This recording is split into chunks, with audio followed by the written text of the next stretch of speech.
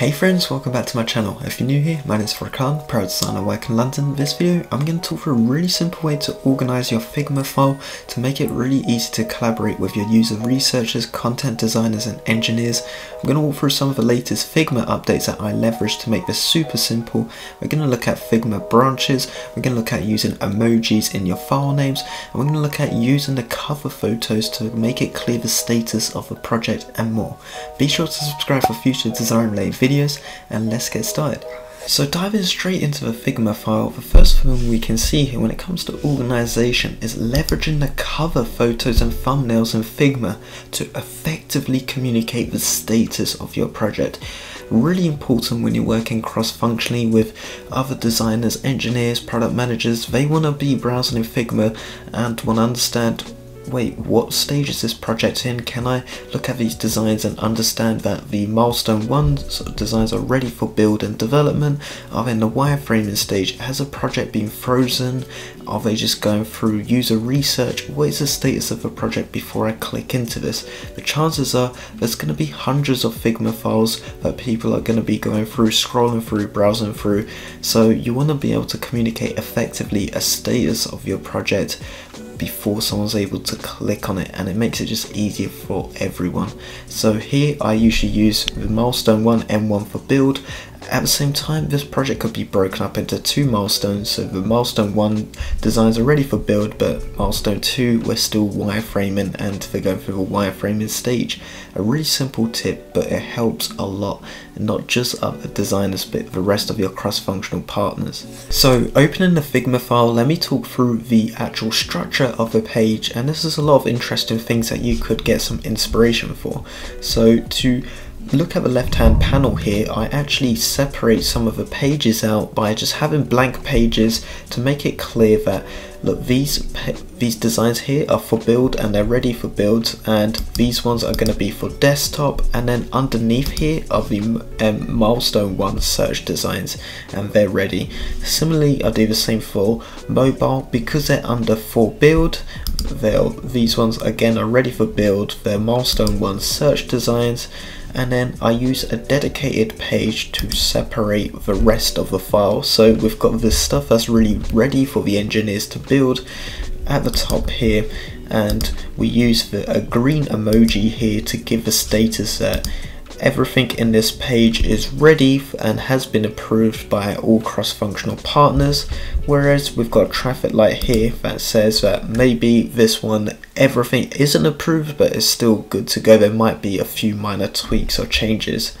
So underneath here I use a dedicated page to separate out the rest of the file, stuff that might not be as interesting or valuable for, for example, an engineer or product manager to see, like the cover photo page, or for example, basic uh, in the archive, some wireframes or other designs that we explored. It's not something that you necessarily um, it's essential to see, but it's nice to still keep in there.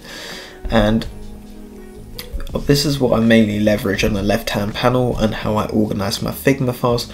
Clearly leveraging some emojis here for saying this is ready for build and then underneath here using these arrows to separate desktop and mobile designs. And the reason I feel like this is effective is because when I hand off my designs, desktop designs could be delivered first and then the mobile designs could be delivered two weeks later. So I don't have to deliver the mobile and desktop designs at the same time and these emojis make it a lot easier for me to communicate this to people that might not have actually understood what's going on and they'll see wait there's not a green tick against this one or a green emoji. Like the mobile designs are still pending or there's some last minute sign offs on these. So I feel like it's an effective way because you're not always going to be delivering mobile and desktop designs at the same time. So these might be coming at different timelines but they're going to be under the same file. So it's a good way to branch this out.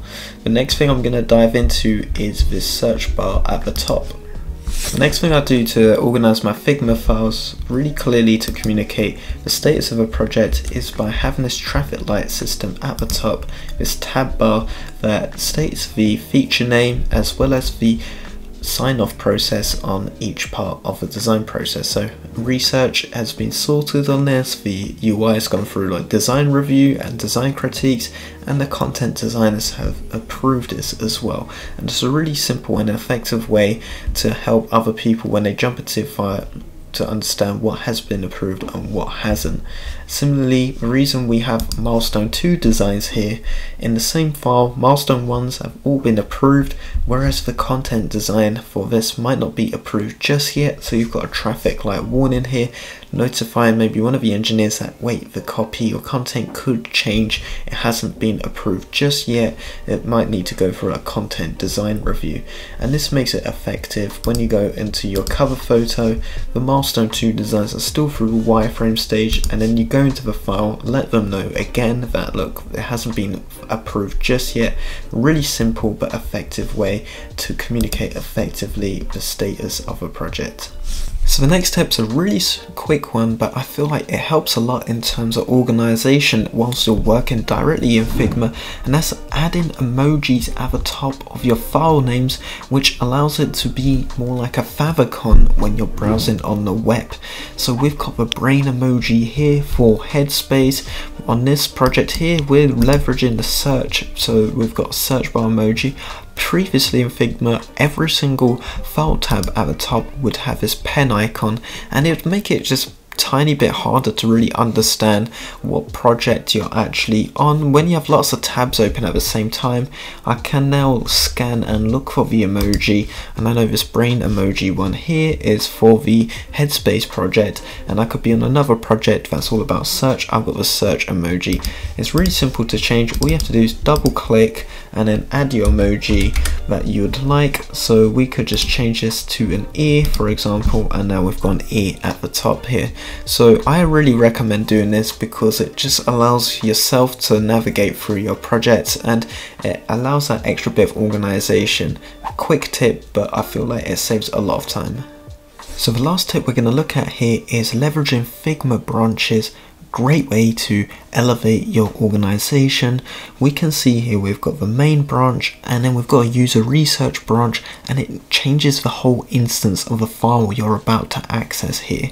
So you can see effectively on the home page what branch you're looking at and you can create new branches. Here's one we're creating for testing for video and leveraging the emoji effect and now we're going to create the branch and be taken directly to Figma with this new instance open. So diving into the branch that we've just created is a really effective way of organizing files and working cross-functionally so you have these dedicated branches for research, for content, of testing different concepts that are different from your main file that you're handing off for development and it makes it a lot easier because you can have different page names in this branch. You can effectively organize this a lot more effectively for research. We can see in this file here we've got user flow 2 user flow 1 and it's going to make it easy for the researcher to test your concepts and they don't have to worry about meddling in your main file or getting anything wrong here. So once you're done with that branch you could either archive it or you could just keep it for any future research purposes but it's really uh, effective way and I love using this way of working by when my researchers looking to test some concepts I create them a dedicated branch to allow them to work a lot more freely. We can see here the cover photo for the main file for M1 is complete and is separated Thank you so much for making it to the end of this video. I hope this gives you some inspiration on how to organize your Figma file. You can again grab this file by hitting the link in the description below.